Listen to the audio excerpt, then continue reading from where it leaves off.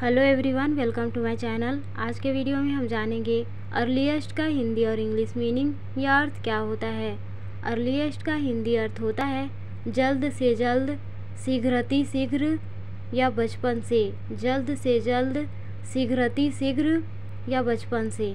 वहीं इसका English meaning होता है बिफोर द यूजुअल और expected time before the usual और एक्सपेक्टेड टाइम एक एग्ज़ाम्पल से समझते हैं इसे। For example from earliest childhood she had a love of dancing यहाँ अर्लीस्ट का अर्थ है बचपन से। उदाहरण, उन्हें बचपन से ही नाचने का शौक़ था। और इसी के साथ आज के वीडियो में बस इतना ही। Thank you so much for watching my videos